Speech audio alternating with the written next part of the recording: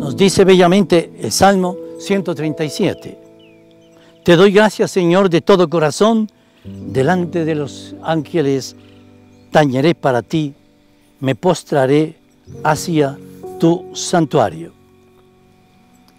Es en efecto, cantaremos al Señor, estaremos felices de proclamar su nombre.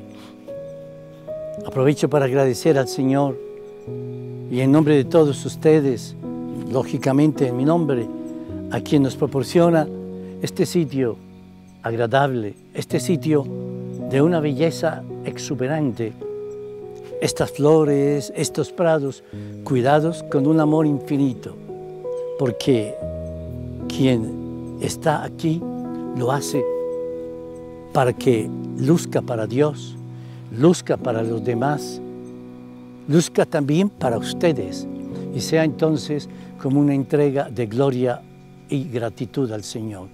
Que el Señor bendiga tanta bondad y generosidad. Del Evangelio de San Lucas, capítulo noveno, de los versículos 57 a 62. En aquel tiempo, mientras iban de camino Jesús y sus discípulos, uno le dijo, Te seguiré a donde quiera que vayas. Jesús le respondió, Las zorras tienen madriguera, los pájaros nido, pero el Hijo del Hombre no tiene dónde reclinar la cabeza. A otro le dijo, Sígueme.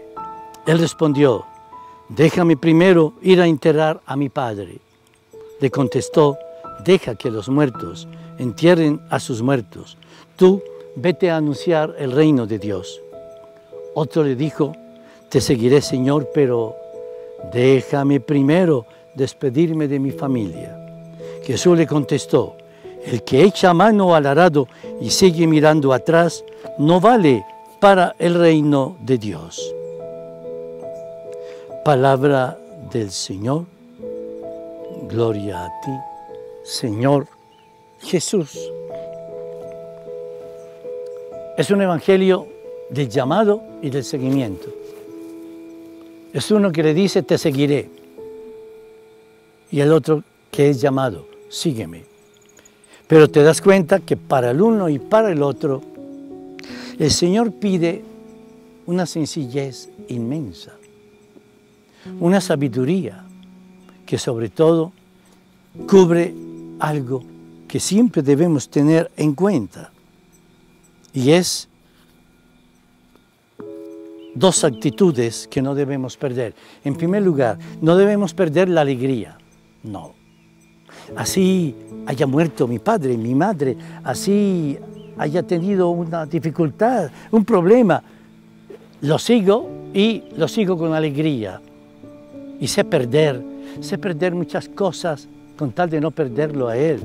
Y sé perder cosas, pero buscando siempre no ir a destruir a nada ni a nadie, sino a dar siempre el bien con todos. Y en segundo lugar, el Señor en este bello Evangelio nos invita también a saber perder los bienes, a perder bienes que a veces hay que dejarlos, que no son tan esenciales. Por eso, Señor, enséñanos a seguirte con fidelidad, a no estar siempre mirando atrás, comparando con los otros, sino siguiéndote con amor y con paz.